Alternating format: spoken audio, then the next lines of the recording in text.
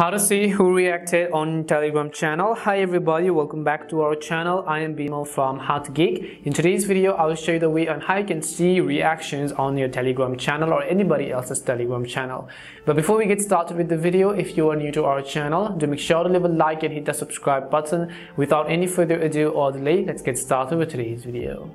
First of all, simply make sure you have either downloaded or updated the Telegram app to the latest version. And you can do this by heading over to your respective app store, in the search box typing in Telegram and go ahead and simply either download or update the app. Once you've updated the Telegram app, I want you to go over and simply open it up. After you are logged in, you can go ahead and open up Telegram and once you open Telegram, you can see that this is how the interface is going to look like. So what you have to do is let's say that you want to see who reacted. Just go ahead and open up any of the group or channels over here. And if I show you a particular message over here, let's say basically I'll just go ahead and then show you a particular message. Once I show you a particular message, you can see some of the bunch of reactions on this particular messages. So if you want to see the reactions, if you by the way tap on it, you'll be able to add your own reactions.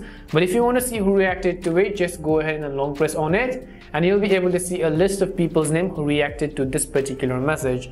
Now, if you also go ahead and show you by long pressing on the other one over here, you can see some of the people as well. Now you can also add your own reaction and long press on it and see that there are some of the reactions what people have posted over here.